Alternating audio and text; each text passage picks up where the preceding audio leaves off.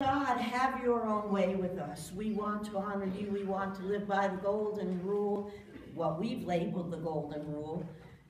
We just want to love and honor you by loving and, and caring for others. So help us. Change our hearts to be more like you. Shape us and mold us so that absolute sway you have over our hearts and our minds. In your name we pray. Amen. You may be seated. All right. So we've all heard the golden rule, right? We've all heard it. And uh, most non-Christians have heard it too. And they don't know it's a religious statement.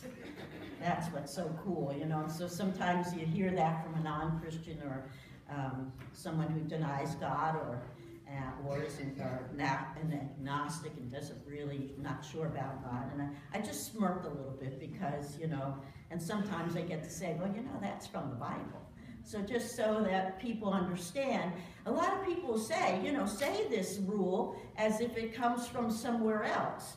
And you see, because many philosophers and religious teachings have taught something very similar, but significantly different. So we're going to play a video, and we're going to hear a little bit about that. Our media person has a little help today.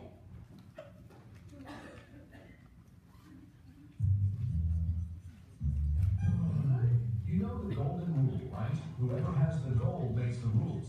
Do unto others as you would have them do unto you. There we go. That's from the Bible. Only it's not quite worded like that. Matthew 7, 12. So whatever you wish that others would do to you, do also to them. For this is the law and the prophets. Now, some skeptics have tried to claim that the golden rule is not exclusive to the teachings of Jesus. It's actually so common and so basic a principle that many moralistic teachers have said something similar, even way before Christianity. For example, Confucius, 500 years before Christ, said, What you do not wish for yourself, do not do to others. When you look at those two versions of the Golden Rule, they're actually very different. Jesus had this way of taking common principles, stuff that people had been repeating for hundreds of years, and probably didn't follow it, they just liked saying it. And Jesus took it to a whole new level. Confucius and others like him were merely saying, Don't do to anyone what you wouldn't want done to you. How is Jesus' statement different? It's a call to action. He said, do to others what you would have them do to you. In other words, just as you want others to treat you better than you deserve, so you should treat others better than they deserve. How is this the law and the prophets? Because it's exactly the way God treats us. We don't deserve his mercy and grace. What we deserve is death for our sin. But because he loves us, we become fellow heirs with Christ, everyone who follows him. All of the scriptures point to that very thing when we understand the text. Okay, so get it, right? Okay, so so take some other philosophers. Hinduism. This is the sum of duty. Do not do to others, which if done to you would cause you pain. Buddhists, hurt not others with that which causes pain to you. Islam, no one is a believer until he desires for his brother the things he desires for himself.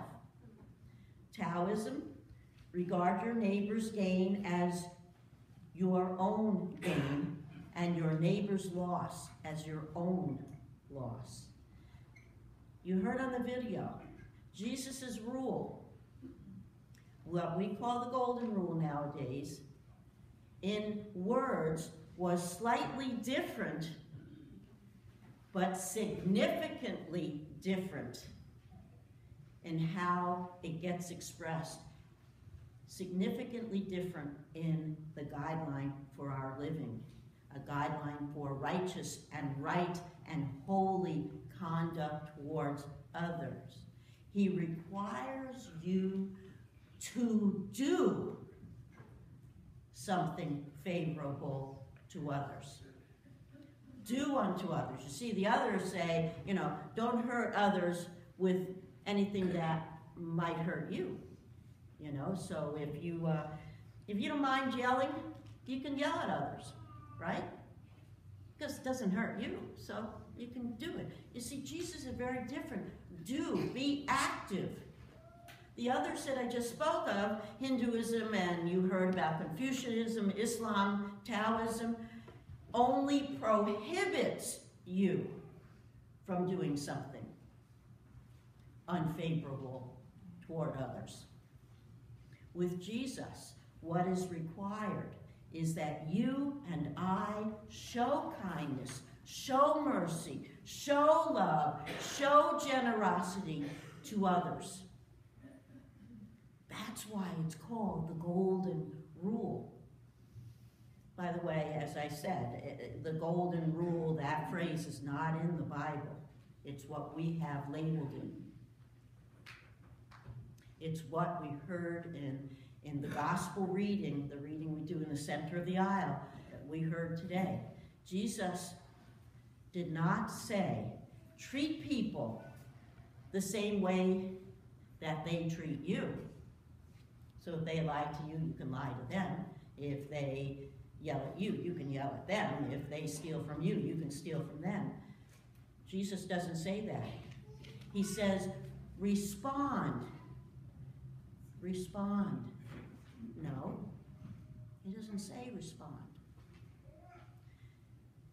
Respond. No. He says, do unto others You've heard the bumper sticker, you've seen the bumper sticker, do unto others before they do it to you. Right? That's very cynical, and that's what our world expresses to us. But Jesus says, whatever you want people to do to you, do to them first. However you want people to treat you, treat them that way first. So here's the rub. Do not do to others what you don't want them to do to you can be observed by anyone, can it? Because it doesn't take any initiative. You can just hang out and veg and be a couch potato if you want, because it's not about any work or care or concern on your part. Do not do to others is really easy to take care of. But Jesus teaching do unto others requires action. It requires energy. It requires effort. It requires conscious care for others. And this was very countercultural in the time of Jesus. It was very revolutionary. See, Jesus was a revolutionary, and he taught contrary to what society was was all about and, and what Jews believed to be true and right and how to honor God. And so this is very uh, countercultural because the scripture says, the commandments say, don't. Don't steal. Don't uh, harm your neighbor. Don't covet. Don't um, dishonor God by plucking corn in the field on the Sabbath. It's about don't doing. Pleasing God is about not doing things. And what Jesus does is turn this whole concept upside down and says, no, it's not about don't, because then you'd have a million rules. It's about do unto others with love and care and respect, because that's how you want to be treated. So do that for others. Care for others. He said, if you love others as yourself, if you do for others as you want them to do for you, if you, if you turn the other cheek, you are honoring God. You are pleasing God. And therefore you are, you are honoring the and fulfilling the entire commandments of God. That's, that's just so unheard of in Jesus' time. And so Jesus became the prime example of the golden rule in action, didn't he? Time after time, Jesus shone forth the golden rule in his actions and his words. He had compassion on the 5,000 people who are hungry on the hillside after he had been teaching all day. And the disciples came to him and said, You know, Jesus, you got to send them away. They got to get something to eat. They're hungry. And, you know, and Jesus said, Well, you feed them. We're going to feed them together.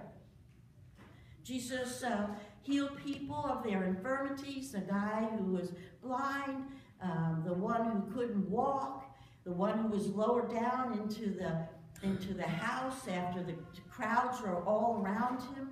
And Jesus didn't say, Get out of here. He says, Okay, I'm going to heal you. When miracles were needed and waves needed to be settled down and winds needed to be calmed down, Jesus did it. He did for others. He showed compassion and care. When the disciples were hungry on the Sabbath, Jesus had them pick corn to eat. Now, you don't do anything on the Sabbath. Remember, you don't do anything on the Sabbath. You don't pick up a rock and move it from here to there. And so, so Jesus uh, says, well, go pick some ears of corn. Well, everybody's looking at this. This is, again, countercultural. And, they, and they're, they're, everybody's beside themselves because Jesus is having the disciples pick corn to eat because they're hungry. And Jesus said, the Sabbath was made for us. For us to enjoy, not the Sabbath made for God, but for us. And so it's okay to pick corn. It's okay to eat. It's okay. He cast out demons, the demon possessed. He, uh, he uh, healed the centurion slave who was at death's door and so on. The stories go on and on. He demonstrated the golden rule. He cared for other people.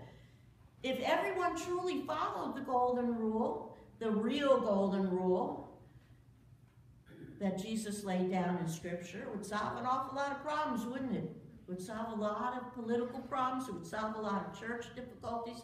It would solve a lot of relationship issues. It would solve a lot of marriages and, and family issues. And so the question is, is there something you don't want? Is there something you don't want your spouse to do to you? Is there something you don't want your child, your teenager, your coworker to do to you? Is there something you don't want your neighbor to do to you, your friend, your boss, your cousin, your aunt, your grandmother? You don't want them to do it to you? It starts with you. That's what Jesus is saying. It starts with you and me.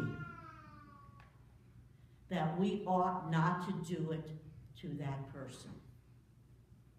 So the question is, have you been living the golden years? No matter how old you are, if you're five years old, as we're trying to talk to the kids a little bit, or if you're 55 years old, or 75 years old, or 90 years old, are you living the golden years? Has your attitude been golden lately?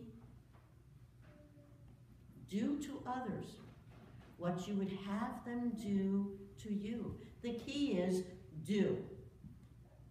And the follow up to the key is to unlock the door once you put the key in without expectation, without expecting return without expecting applause, without expecting recognition. Just do it. The Nike commercial, just do it. Do it. Do it. Without anything, any ulterior motive, any want on your part. Take the initiative. Not to get something back, simply to give, to be, to do, to help, to care for another person. So, do you want to be forgiven? Do you like being forgiven? We all like being forgiven. Then surely there's other people around you that like and would like to be forgiven. Be a forgiving person. Do you like being affirmed? You and you maybe you need to be affirmed or wanting affirmation, enjoy being uh, affirmed, well then surely there are other people around you in your world that would enjoy or need affirmation. So be a person who affirms others. Do you enjoy encouragement? Do you enjoy um, feeling like you, you know, you got somebody behind you, a balcony person applauding you? Then surely there are other people around you that need a balcony person, that need someone who's going to encourage you. So be an encourager. Be a balcony person and applaud and encourage someone else. You don't like feeling hurt or abused? You want a gentle touch in your life? Be someone who offers a gentle touch. You enjoy having joy and happiness and, and peace in your life? Well, surely there are other people around you that want peace and joy and happiness in their lives. So be a person that brings joy to others, that brings peace to others. Are you uh, wanting or needing or enjoy when people understand you and give you the benefit of the doubt?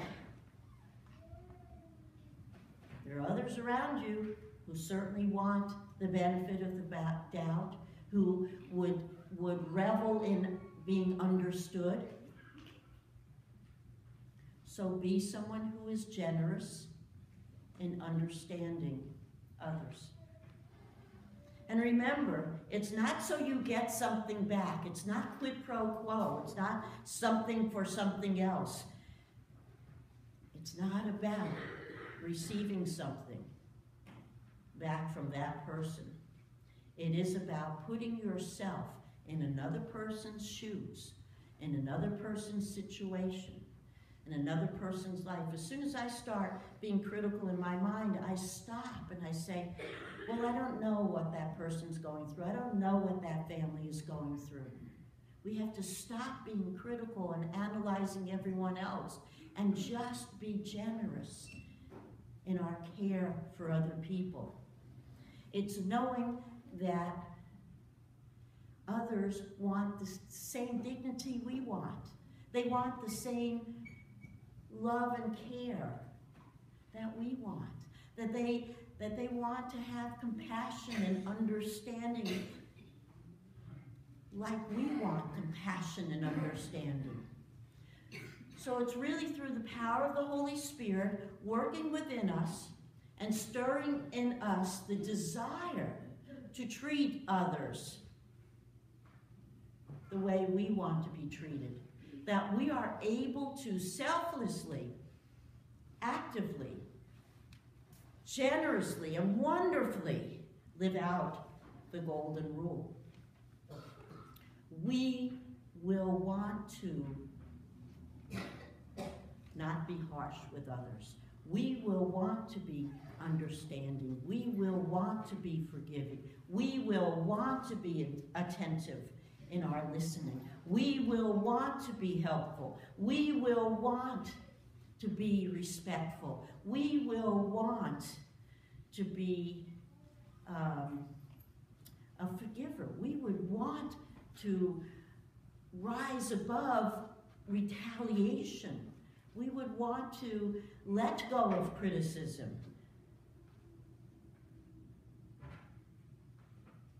I dare say with the help of God, through the power of the Holy Spirit,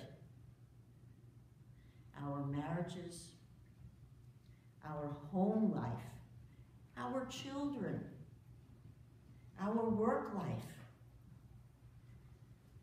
our relationships will flourish. They will grow. They will be transformed. And you yourself, me, myself, will be renewed in our, in, in our hearts and our minds. And in our attitudes, our emotions will be renewed because we are doing for others. That's how we receive, not from others, but from God Himself as we are transformed by living the golden rule. Heavenly Father, it's not easy. In this day and age, we want to get for ourselves before others get us. And so, you know, that's a cynical way to live, Lord. You call us to live by doing for others first, caring for others first, and then all of that stuff will come back to us. That's the blessing of living a life that honors you and that loves and serves other people. That's the life worth living, Lord. And so help us to live what we call the golden rule, what Jesus calls us to do. To do and not to be, but to do the golden rule, to be active in serving and kindness and love, and be people of, of forgiveness, and be people of mercy, be people of gracious love and understanding love. Heavenly Father, we thank you for that rule that kind of guides us and directs us. Help us to live up and through that rule. We're not perfect, Lord, but we're, we strive, we strive to live according to your kingdom values. So help us. One of the ways that we do that, Lord, is to pray for one another, to gather up our prayer requests. That is certainly a way that, that um, we live out that, that, that golden rule, to love others, to pray for others first. And so we pray for Deacon Chris and Bill uh, Depew. We pray for Kennedy and, and uh, Joanna Taylor and Thomas and Mickey and Elaine. We pray